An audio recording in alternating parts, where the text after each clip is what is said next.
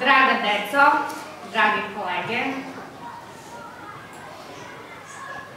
gosti iz medija, zadovoljstvo mi je što smo se danas okupili ovako svečano, ponosno, jer u vašim očima vidim neko zadovoljstvo i ponos, to je verovatno zbog uspeha koji ste postigli, jer svako kad radi i kad se trudi, na kraju sledi uspeh. A posle uspeha sreća i zadovoljstvo. Zato smo svi ovde, u ovom trenutku, u ovoj prostoriji, nasmejani i srećni ovog trenutka.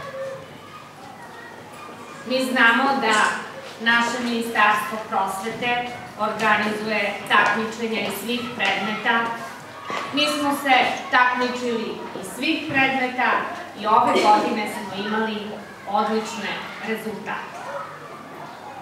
Mi smo za najbolje učenike i njihove nastavnike pripremili skromne poklone kao uspomenu na njihov trud i kao uspomenu na vaš trud da zapamtite kad ste se nekad kao učenici drugog, sedmog ili šestog razreda takmičili i osvojili neki bitan plasman i imali neki važan uspeh.